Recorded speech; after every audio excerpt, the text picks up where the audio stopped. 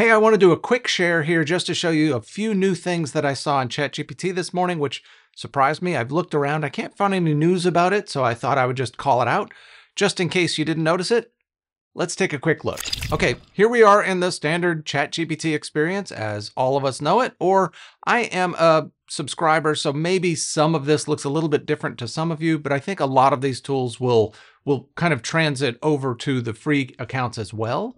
But so one of the things that's interesting that I see is this sidebar. When you close the sidebar, they now have a couple icons on the left. That may seem simplistic, but to me, it's really useful to be able to go instead of having to dive into this sidebar and pull out new chat when I want to do a new chat. I want to be able to just click this. Uh, it looks like Command Shift O is also a new chat. So if I hit Command Shift O, I'll get a new title here showing me that I started a new chat but that was probably always there. This call out is very, very nice. The library, of course, will be your images. Searching will pull up search. It's also worth saying Command K is also the way to pull up search. So you can always do a search here, which also has new chat, just down arrow and you'll get to it. So, okay, Easy stuff. A lot of us have already seen that, but I thought the sidebar was a really nice addition that they've added here.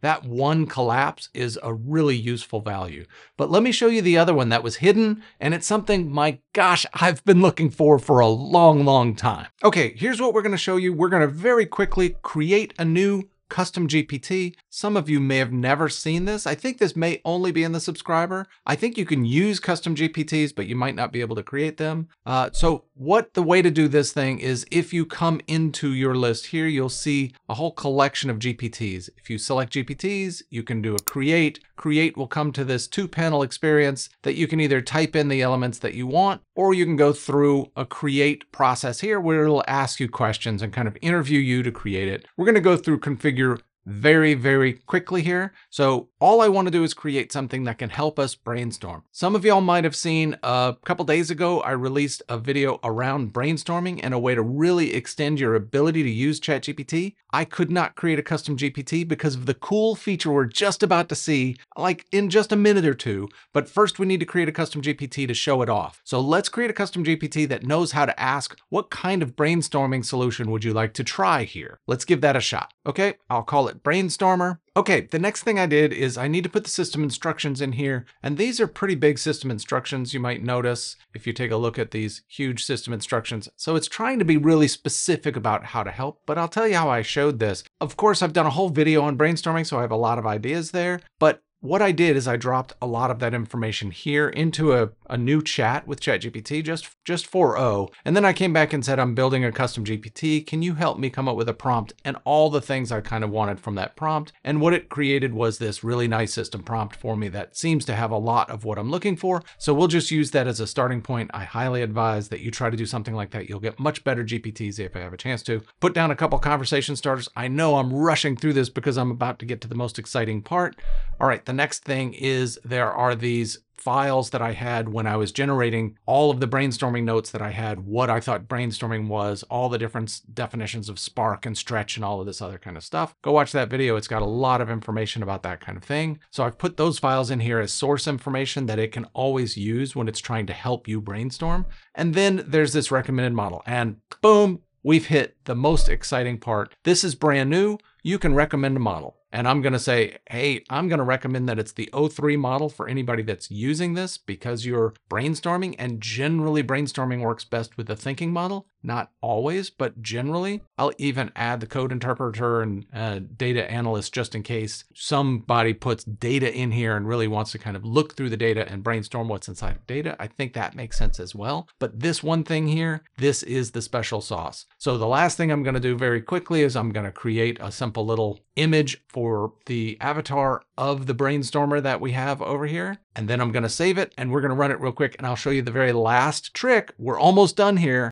Okay, so this is what our brainstormer is going to look like. I'm going to create this. I'll even put it in the GPT store for anybody that wants to be able to use it called the brainstormer. And let's go take a look at our GPT. Okay, so now we're back here. Brainstormer sticking out. Of course, I'm going to collapse my sidebar so we can really see it here. What's most important here, and this is very exciting, I can't say how exciting this is. This kind of custom GPT, it has a lot more uh, functionality than just being able to put in system instructions and a couple source files that it can read from. But that really is already a, a magical unlock in a lot of cases. So this brainstormer will allow you to drop any file in that you want in meeting notes, thoughts, whatever you might want to put into it. And then it will ask you the question of, well, what do you want to do with this context? So let's see that in action real quick. Okay, let's try some brainstorming. Give me a simple meal plan for family dinners this week. I've got two picky kids. They'll eat pasta tacos and chicken nuggets. That's kind of me. And I don't want to spend more than 30 minutes cooking each night. And this one, we already indicated that we want simple meal plans. So we actually want it to go through a Spark. So it runs a Spark right away. And at the end, it kind of says, does this cover what you need? Would you like to stretch, add creative twists, refine, or decide on a grocery list? Let me know. All right, really cool. Let's do another one. Look, new chat inside of the Brainstormer chat GP or uh,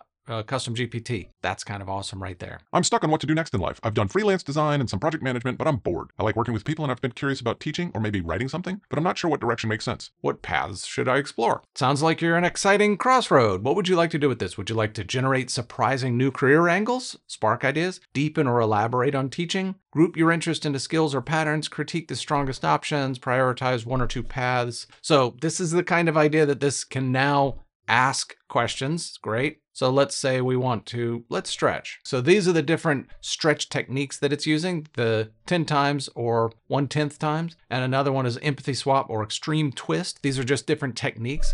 So it's saying, okay, take your teach and design and creative PM work, go 10 times build a global cohort based online program, or focus in and host on a one hour uh, design for non designers lunch and learn for local co-working space. So this is one of those techniques you can ask again and again and it'll try to brainstorm in new ideas. Very, very cool. It's raining, the kids are bored, and I don't want more screen time. What are some silly homespun games we can make up and play with stuff we already have at home? So again, it asks, would you like to come up with new ideas, take a couple ideas and really amp them up, cluster ideas, refine ideas? Let's spark. Here's a grab bag of goofy, use what you've got games. All right, let's say they used Scamper, substitute, combine, adapt, modify, and put to use and eliminate in reverse. So this is one brainstorming technique. So substitute, laundry basket, skee ball. Okay, combine, pillow fort, mini golf. Reverse, backward treasure hunt. All right, these are awesome already. Random word roulette, where you pick a random word and use that word and try to create analogies from your problem against that word to see if it spawns new ideas. Their word here is banana. Banana balance relay. Walk across a masking tape line with balance in any household item, sponge, Lego on your head. Okay. Echo, echo tag. One kid makes a funny sound, the other the others tag the nearest object that can mimic it. Okay.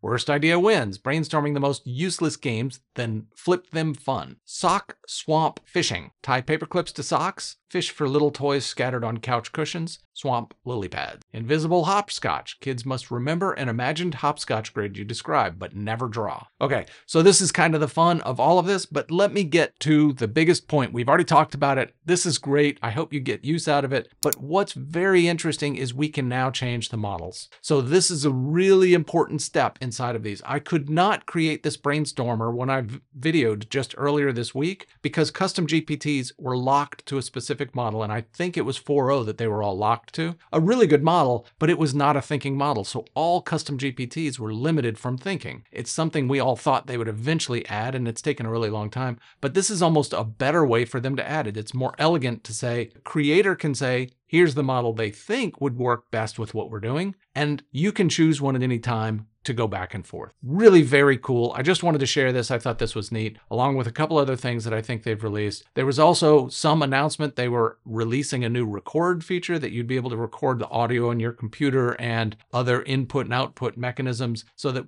it will be able to keep meeting notes like a lot of these systems are already doing. So they're making a lot of big strides, but not really announcing them real broadly. I find that really exciting. All right, I just wanted to share this one real fast. I hope you saw some of the brainstorming stuff. Go to the GPT store and find the brainstormer out there. This is a very neat pattern of just saying, I have some stuff, drop a file in that you've recorded or record your voice of a problem that you have or a thought that you have and ask for some of the different brainstorming techniques. You can even ask that GPT, what are some of the brainstorming mechanisms I can use? And it'll describe everything to you ad nauseum. You'll have everything you want. It's really cool. But really good work, OpenAI. I really like that you've added the model selector to these custom GPTs. I find great use in them. I have a few of them that I use all of the time. Even for this channel, I will take the output of this video, take the whole transcript, and put it into a custom GPT that I've built long ago that says, get all of what I'm saying in here and figure out what my main point is and whether or not it's a valid point. Should I reshoot things? All kinds of stuff like that. So there's real value in these GPTs. I can do that just with a prompt, but I would have to type it every time and get all the same concepts in the files. So in any case, this is really cool. I hope you get some use out of custom GPTs, and I hope you found some use out of this. All right, thanks for coming along on this one, and I'll see you in the next one.